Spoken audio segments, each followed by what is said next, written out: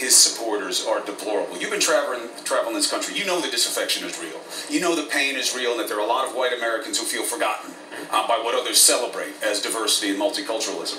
They see him as a proxy, a white Anglo-Saxon Protestant proxy. Yeah, but he's playing them for suckers. I mean, he's the the, the message uh, that he's telling uh, to these Americans is, uh, yeah, you're not making enough money. Yeah, your houses or, housing is becoming unaffordable. College education is out of reach for your kids, and your job may be automated away in ten years. But your big problem in life is political correctness. That's what he's trying to get people to believe.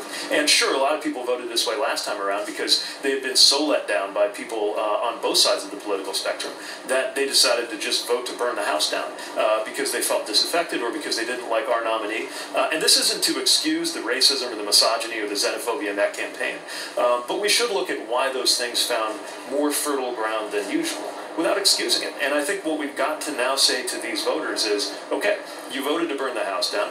Now the house is on fire, but he has not done one thing to make your life better. And if you think your problem is brown people, uh, when your job is about to get automated away and you don't have the retirement savings you need in order to actually have a dignified uh, remainder of your life, uh, then uh, you're not going to make You'll it. say I gave you the best economy ever, and I'm finally speaking the truth.